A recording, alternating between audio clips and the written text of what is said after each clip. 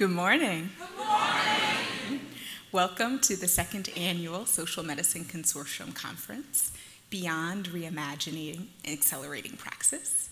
Three words that are fundamental to the social medicine movement are personal, partnership, and praxis. Personal because the work of social medicine is personal, partnership because it can't ever be done alone, and praxis because it's about both informing ourselves and educating ourselves and taking action. Good morning. My name is Angela Sandra Namwase. I'm from Uganda. And for me, social medicine is personal. Um, this year, my heart aches because um, I found out that almost my whole family was hypertensive on Easter Sunday in a hospital when my father was very sick. Um, I'm hopeful that the future is bright because the National Health Insurance Bill will be discussed in Parliament this year. My name is Michelle Morse, and I'm from Philadelphia and live in Boston. And social medicine is also personal for me. It's personal because I woke up at 5:30 a.m. on November the 8th, 2016, in Haiti to a new president that I did not accept.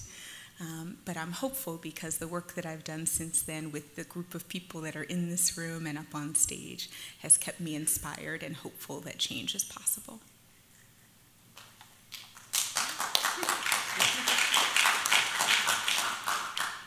Good morning. My name is Stacy Midi from Haiti. For me, social medicine is practice.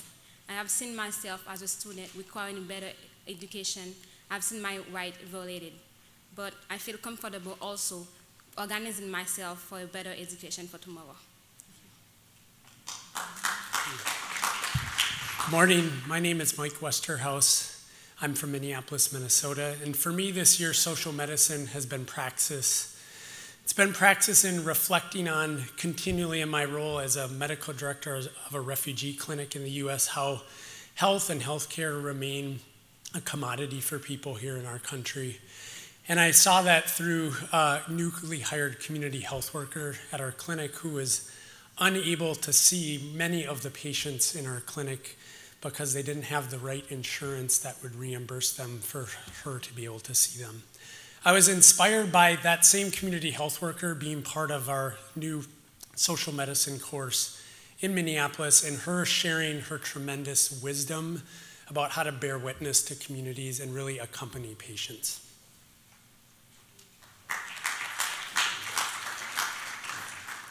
Good morning, everyone. My name is Tinashe Goronga, and I am from Zimbabwe.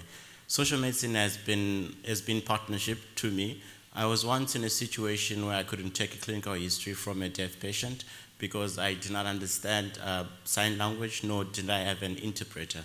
However, this inspired a project, a partnership between, between the health professionals, my colleagues, and the Zimbabwe deaf community to identify barriers and address, and address barriers which might be impeded access to, uh, to care for the deaf community. Thank you.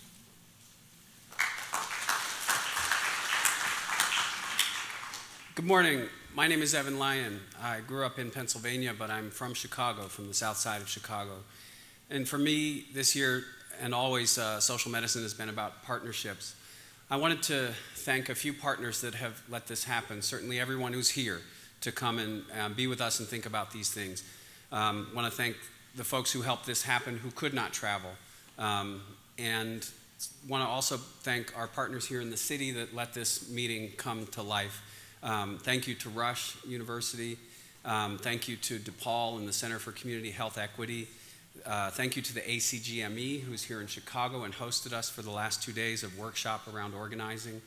And a, a great thanks for um, our partners here at Malcolm X College. We're very proud to be here in a city college that has um, Minister Malcolm's name on it. Um, my heart has ached around social medicine this year um, when I uh, in, am in clinic, and it made me think of a man I'll call John who came to me uh, not because of physical health, but he was afraid he was going to be arrested. He had become homeless and fell out of the good graces of the criminal justice system that he was supposed to be doing a certain thing for, and he was unable to do that as a homeless person.